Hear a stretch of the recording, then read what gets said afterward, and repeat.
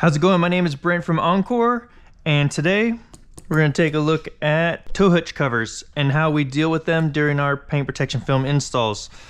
So, first of all, we remove the tow hitch cover, and then in the computer, we delete the cutout for this part in the pattern.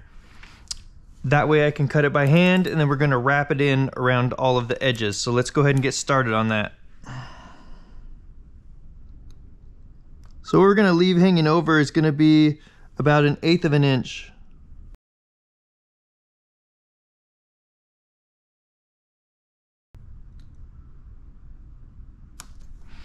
So the great thing about doing your tow hitch covers like this is that you don't have to worry about there being any edges around this. So it's not gonna pick up any dirt or hold dirt in any edges because they're all wrapped in behind the front surface of the bumper.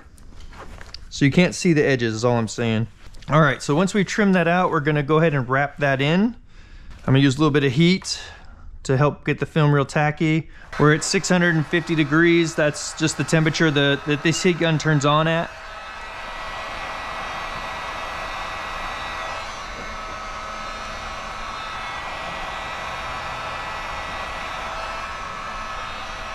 So I like to wrap the corners in first because they you're gonna need the most stretch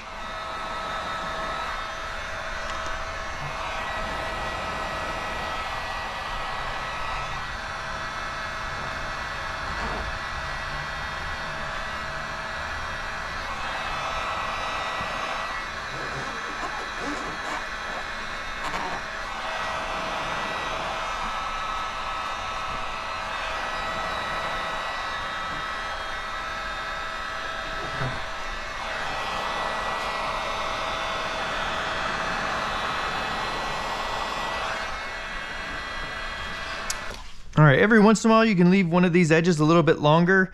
Basically what, when we cut it at that eighth inch is that we're just trying to make sure that we don't have an edge that is any longer than wrapping up to these plastic parts that are sticking up because you don't want to create like a gap in there where you're where you're landing on this part instead of just sticking to the bumper that's just a headache obviously um, all right, and so then what we've got here is we've got our tow hook cover. This part that we delete out of the pattern, we take that part out and we set it in another area of the material so that we can cut this larger pattern out.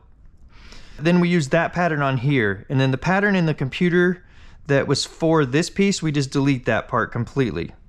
The part that was just supposed to go over this and go right up to the edge, because what we want to do is go over the edge here. And so what we've done is installed this and then wrapped it all the way around so that that finished edge is not on the front, it's actually on the side. All right, we'll go ahead and put this back in. Beautiful.